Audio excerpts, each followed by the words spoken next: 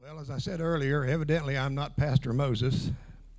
And this is going to be kind of a different night. Uh, maybe it's going to be a little retro. I don't know, but uh, I'm old and I'm old fashioned. So I don't do, don't do all this technology too well. But uh, I wanted to share with you what God's put on my heart tonight. And I need to give you a little backstory about why we're into this particular verses that we're going to be in the first time I ever used this text, I was preaching in view of being called as a pastor of a church. That was my second sermon I ever preached. And I used this text the second time when I entered the pulpit of that church for the, to preach the 1000th sermon that I had preached, and I used this same text. And I decided to use it tonight because my wife and I, when we were called to this church, we entered into a kind of a different and new ministry for us.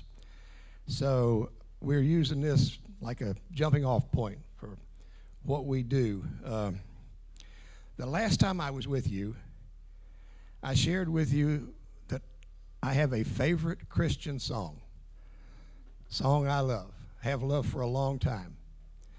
And it is my favorite Christian song, still is my favorite Christian song. And if you weren't here then, it was Jesus Freak by DC Talk. I love it. I genuinely love it. But I also like all kinds of music. So I have a song I want us to listen to tonight. Most of you probably have never heard of it. Many of you were, probably weren't even around when it was first introduced. It's kind of humorous and it's kind of tongue in cheek, but it has a good message. And uh, I hope you enjoy it. It's a completely different type of music than we normally have here at Revolution. So if you like it, fantastic. If you don't like it, blame it on me. Don't take it to Moses because he didn't pick it out, I did. So, Danielle, can we bring that song up?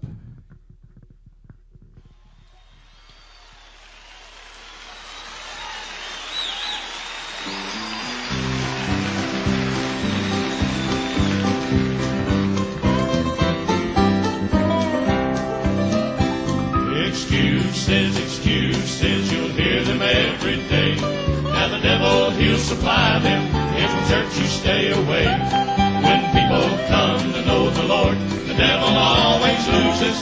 So to keep them folks away from church, he offers them excuses. In the summer it's too hot, and in the winter it's too cold. In the springtime, when the weather's just right, you find someplace else to go. Well, it's up to the mountains or down to the beach or to visit some old friend. Or just to stay home and kind of relax and hope some of the kin folks will start dropping in. Well, the church benches are too hard, and that choir sings way too loud. Boy, you know how nervous you get when you're sitting in a great big crowd. The doctor told you now you better watch them crowds. They'll set you back. But you go to that old ball game because you say it helps you to relax. Well, a headache Sunday morning and a backache Sunday night. But by work time Monday morning, you're feeling quite all right. While one of the children has a cold, pneumonia do you suppose? Why the whole family had to stay home. Just to blow that poor kid's nose. Excuses, excuses, you'll hear them every day. Now the devil will supply them if church you stay away. When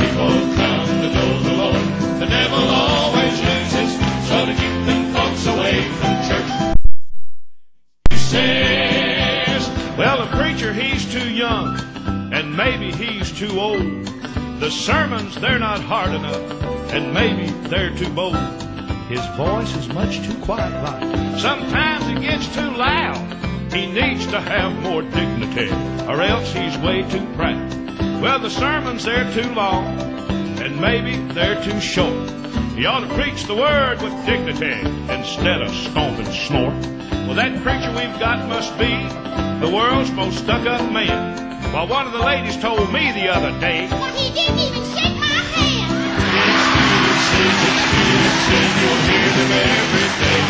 Now the devil, he'll supply them if from church you stay away. When people come to know the Lord, the devil always loses. So to keep them folks away from church, he offers them excuses. So to keep them folks away from church, he offers them excuses.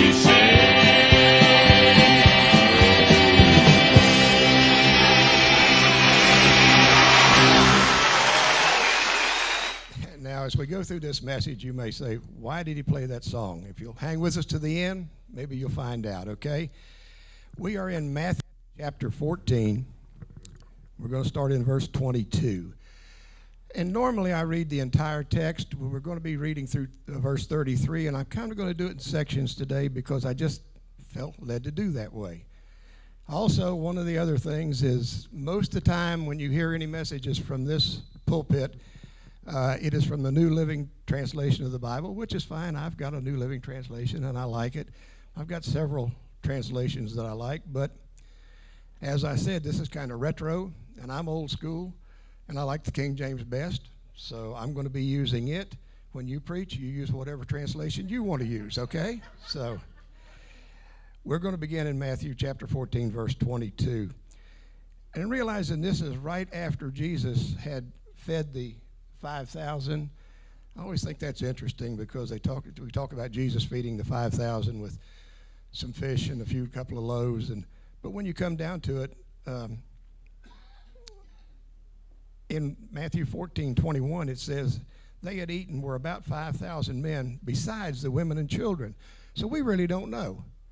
It might have been 5,000, it might have been 7,000, it might have been 70. We don't know. But he fed a lot of people with a little bit. How many know with Jesus, a little equals a lot? Amen. So all that has happened, and Jesus, straight away, verse 22, constrained his disciples to get into a ship and to go before him unto the other side while he sent the multitudes away. And when he had sent the multitudes away, he went up into the mountain apart to pray. And when the evening was come, he was there alone. Kind of interesting to me. Jesus, Son of God, God man. Jesus himself thought it was important enough to come apart from everything that was going on and go out to pray by himself. He decided that I need to go pray because of what is going on. Scripture's full of times that prayers were given up by Jesus, by his disciples. Uh, 1 Thessalonians 5.17 says we are to pray unceasingly. What's that mean? Don't stop. Don't stop. Now, I think if you walk around all day and you're going, oh, Lord, take care of this, and Lord, watch that tree, and Lord, people are going to look at you strange, okay? So it doesn't, I don't think, mean to make a production of it, but always to be in the attitude of prayer. Uh, Luke chapter 18, verse 1, Jesus said that all men everywhere should pray continuously. So, would you agree with me that prayer is important? Then, would you also wonder with me why, when we have Monday night prayer meetings, there's an awful lot of empty seats in this place? Hmm.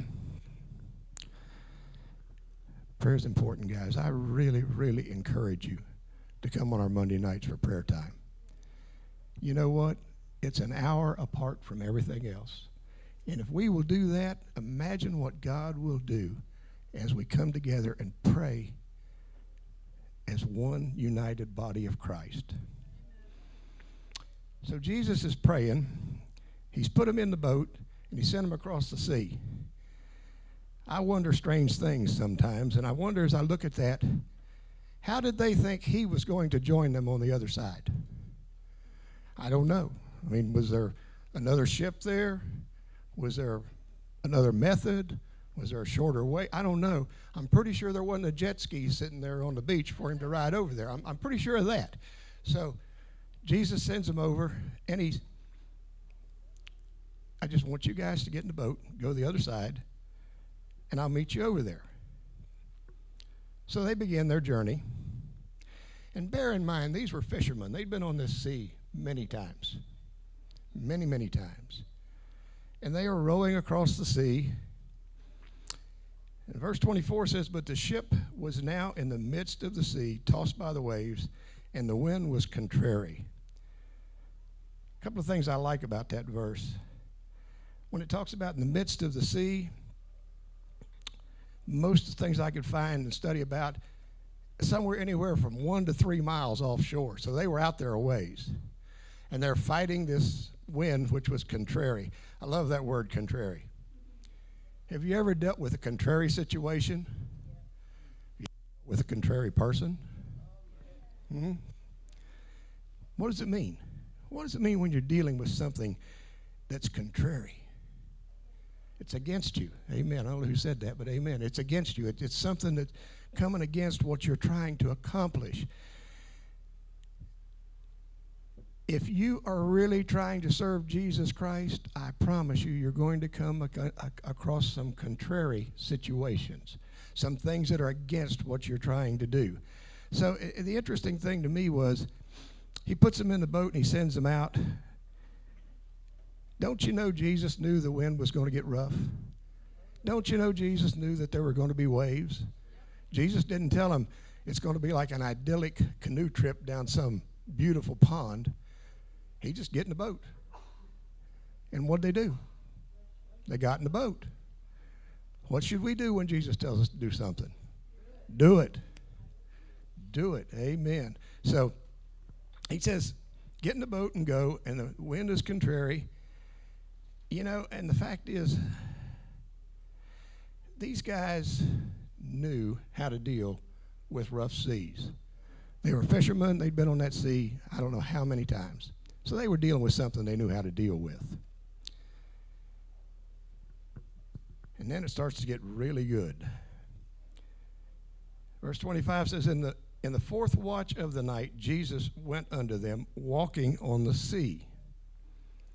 We read that kind of just without paying attention to it. Jesus came to him walking on the sea. Do you ever do that? Okay. Maybe when you were a kid, did you ever try it? Most of us did. You, you could think, think back when you were at the side of the pool or the dock or whatever, and you've heard about Jesus walking on the sea, and you're thinking, I, I could do that. I bet I could do that. You know, and you put one foot in the water, and you, and you go to stand really light. Because I've heard people say that before. I'm going to I'm going to sit really light or stand. How do you do that? You weigh so much, you weigh what you weigh. So you put one one foot in the water and you go, I think it's going to work. I think I can do that. And as soon as you take that other step, what happens? Boosh, you're under the water. Now, my old knees won't let me run anymore, but the way I would illustrate this second part is maybe you think, I wasn't fast enough. if I get a good run at whatever I'm going to cross, maybe I'll be like that stone they skip across the water, and I will give it a good shot. And maybe I can actually do this if I really run as fast as I possibly can and you step off and you make about one and a half steps and you're in the drink again. When we talk about Jesus walking on the water, that to me is such an awesome, awesome vision. Can you imagine that? Now, this is the Bible study group that we deal with on Sunday night is coined a phrase. This is a J-ism. This isn't scripture. But I believe that the winds were contrary and the waves were up. Kind of strikes me as uh, have you ever been driving down 441 and go by Lake Eustis when the wind's really big and you see the white caps and everything? You don't see many boats out there. I have yet to see anybody walking around out there. So as I look at that and I think, well, now Jesus is walking on the water. Is he struggling? I don't think so. I really believe that every step Jesus took, everything got calm right in front of him. And he was strolling along, middle of the night, walking on the water.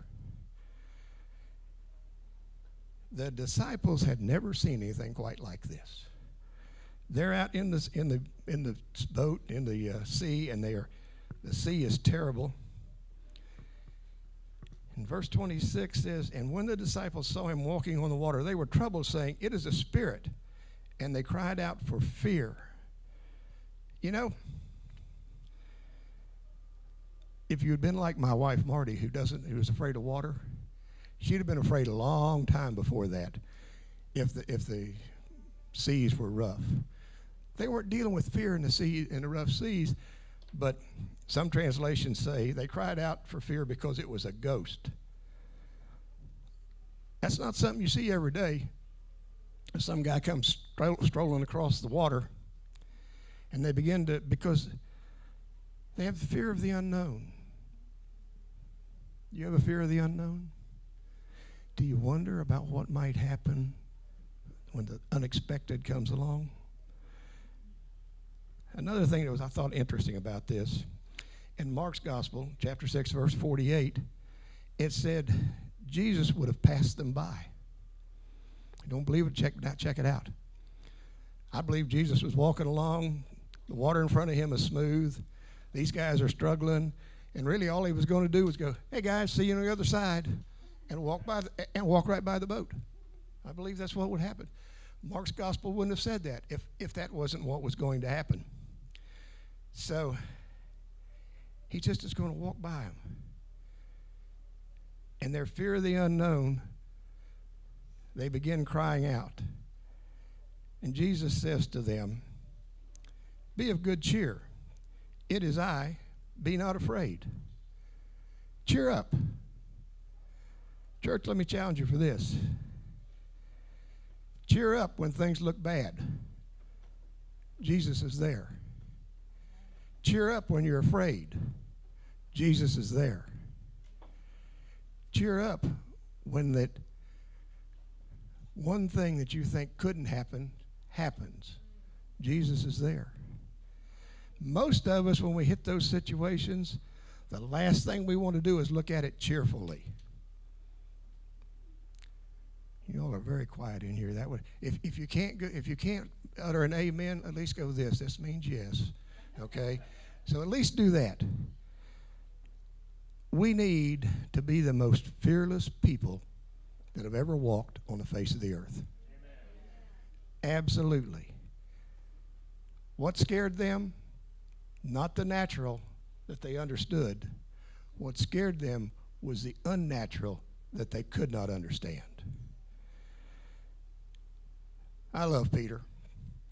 Peter was pretty good about engaging his mouth before he did engaged his brain. and so Peter answers him and he says, Lord, if it is you, bid me to come to you on the water. Now, there have a lot of other ways Peter could have found out it was for sure, for sure Jesus. But he asked him, What's Jesus going to answer? Lord, if it is you, what's Jesus going to say? It's me. He's not going to say, Well, no, Peter, you're making a mistake. He said, Lord, if it is you, okay, it's me, Peter. Well, then tell me to get out of the boat and walk on the water. In the vernacular day, I wonder if Jesus wasn't saying, Really? You really want to do that? Do you think you even can do that? But bless old Peter. So Jesus says, Come. And this is so neat to me. When Peter was come down out of the ship, he walked on the water to go to Jesus.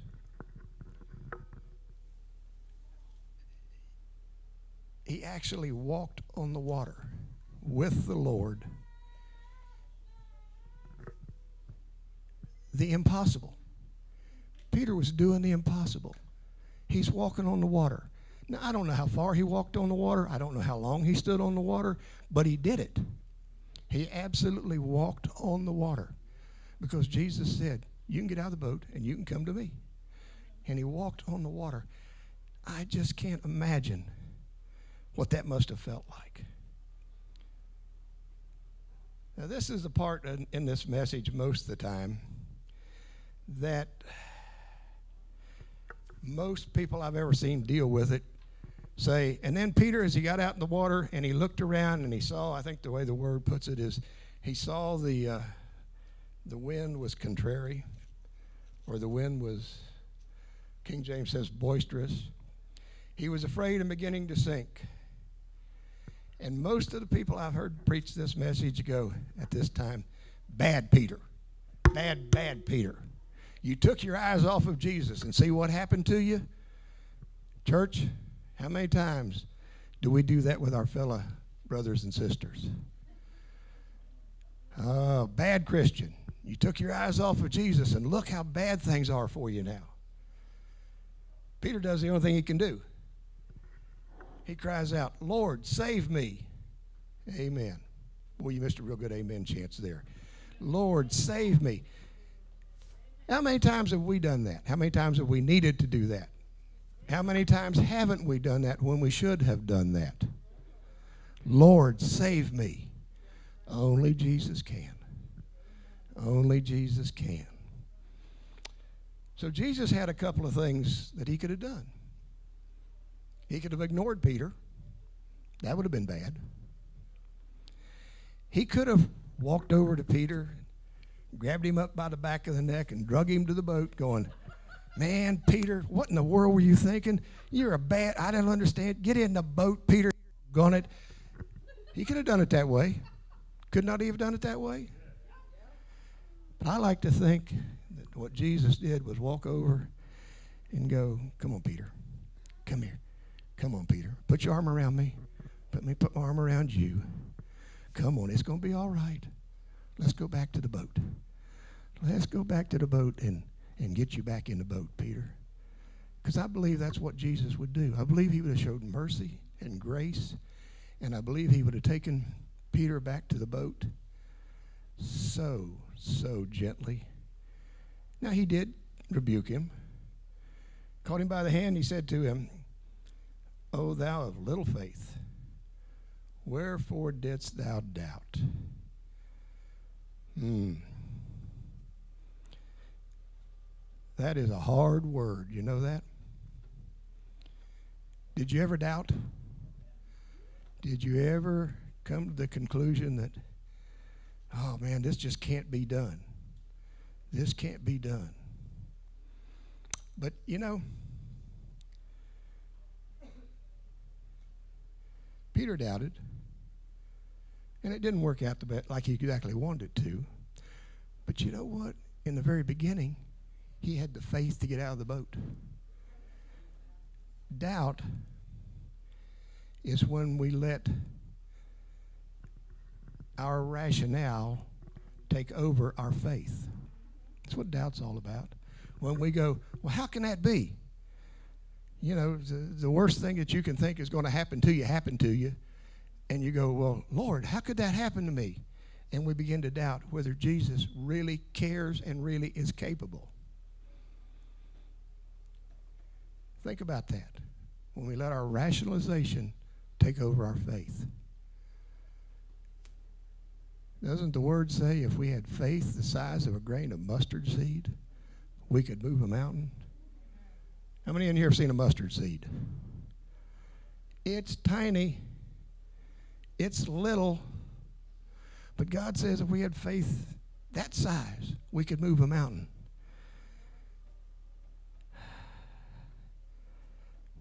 When I think about that, I think, Lord, I haven't moved any mountains yet. How little is my, my faith really? How little is my faith? What, Lord, what would it be like to have mountain moving faith so we could do absolutely anything and everything in you? Peter looks at the circumstance instead of the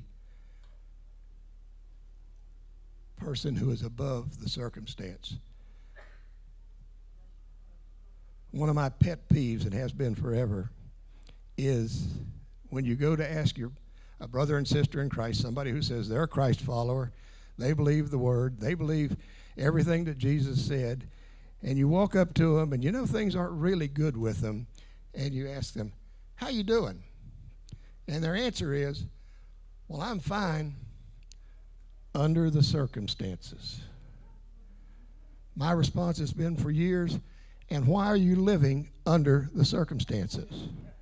I mean, if you're living under the circumstances, Jesus is above the circumstances. Why aren't you putting everything in with Him? the circumstance will fool you. The circumstance will absolutely get to you. So we need to figure out, guys, that Jesus is God above the circumstance. Amen. Jesus can do anything we need whenever we need it. Takes a couple of things faith and no doubt.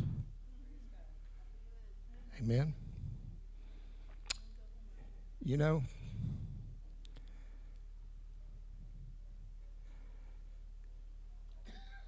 I just wonder what we would do if we would take a risk risk to experience something totally awesome. That word awesome really gets to me in this day and age. I hear people say things like, that meal was awesome. Really? And what? Oh, that was an awesome movie. Do you know what the uh, definition of awesome really is? The, the use of awesome, the word really means to be frightened or to be completely moved, to be completely changed. I don't know, I've had some good meals in my life, but none of them were awesome. I've not been frightened by one yet, and none of them changed my life forever. But the experience Peter had was awesome. It was an experience that changed his life. I promise you that. It definitely changed his life. He's saying amen. Good job, Maverick. And immediately Jesus stuck out his hand and caught him and said, Oh, you have little faith. And then so what the next thing that happens is so neat. Jesus picks Peter up, and I've already shared with you, I think they gently return to the boat, Jesus being full of mercy and grace and love, and telling Peter, you could if you'd have just hung in there, you could have done this. Put him in the boat, and the wind stops. Wow. That's pretty cool. Jesus got in the boat and the wind stops. You know, there's another um, account of when they were in the sea and the wind was really rough, but it talks about being a storm, wind, and rain. And the demeanor of Jesus always amazes me. The, the, account I'm telling you about is over in Mark chapter 4, uh, verse 39, I believe. And, and the disciples are scared to death this time of the natural because the wind's so bad the boat's going to sink. And what's Jesus doing? Sleeping. He's up in the front of the boat, sound asleep. Everything's good. All is well. And they get him up and say, Jesus, aren't you concerned? We're perishing. We're dying here. And Jesus, as only Jesus can, gets up and looks out at the wind, and everything goes, Peace, be still. Wow. What storm in your life is so bad that Jesus can't go to that storm and say, Peace, be still? Is there any? Is there any? Is there a circumstance in your life that Jesus can't look at and say, Peace, be still? I don't think so. I don't think so.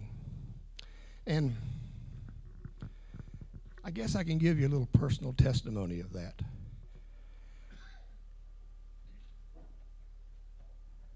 Back in 2006, I got to experience uh, having a stroke and having open heart surgery.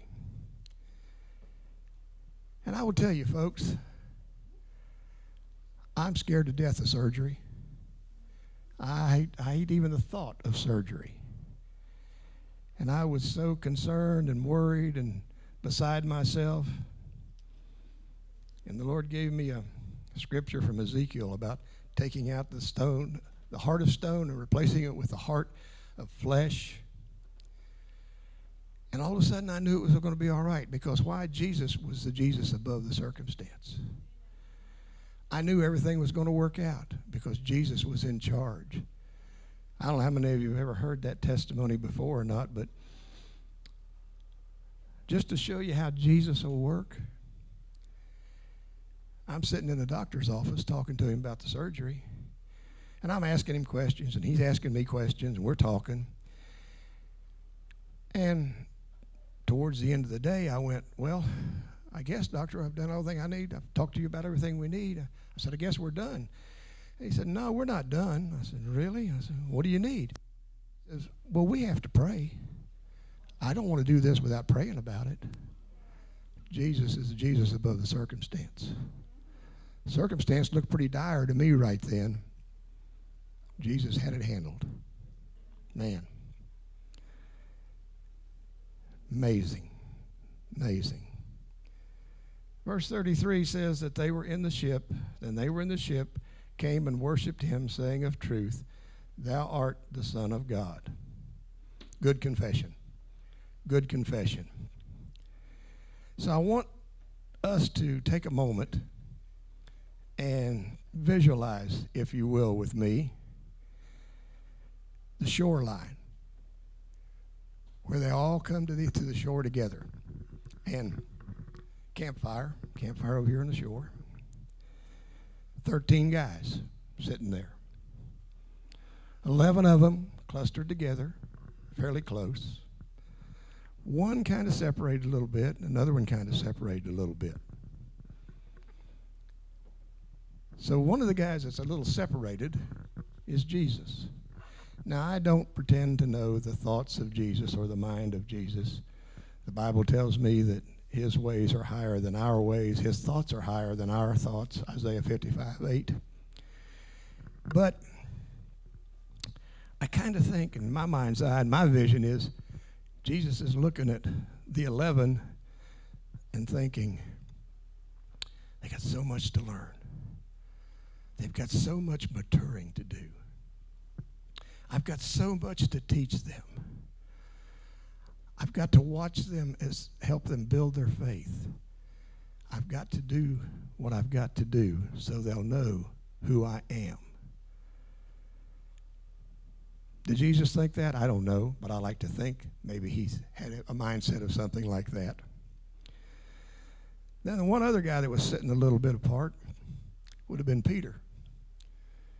And I like to think Peter was thinking to himself, man, that was cool. I walked on the water. Wow.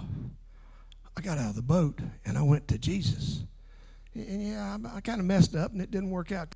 But I walked on the water. I was, I was out there and I was standing on the water. Wow. That was so neat. Man.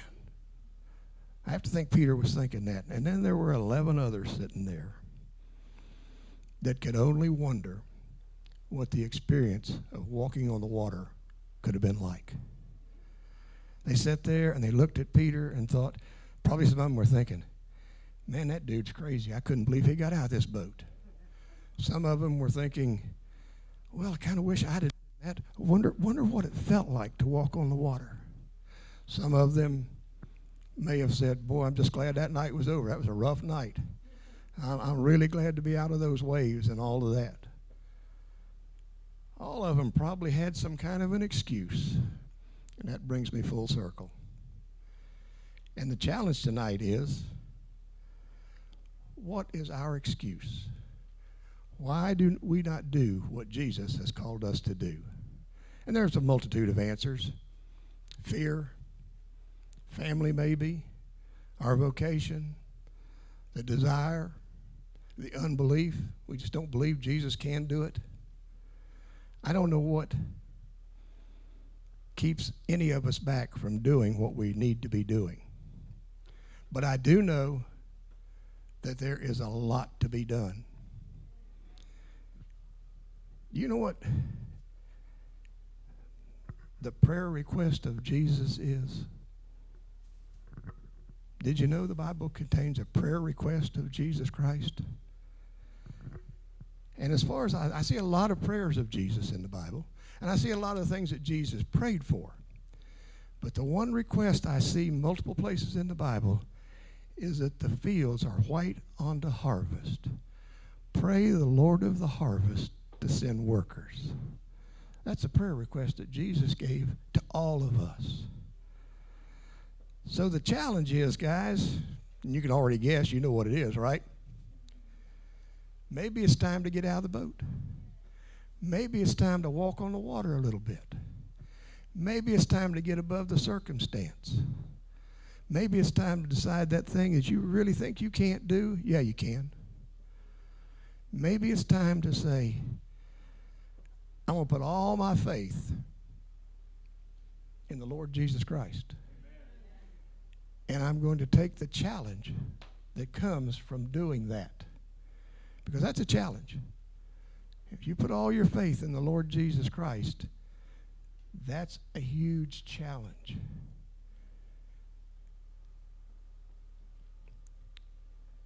Because let me share something with you. He's going to ask you to do something that's uncomfortable. He's going to ask you to do something you don't want to do. He's going to ask you to do something you don't think you can do. And when Jesus shows up the greatest is when we take the challenge of something that we know we cannot do and we succeed. And we succeed only because of the power and the glory and the help of Jesus Christ.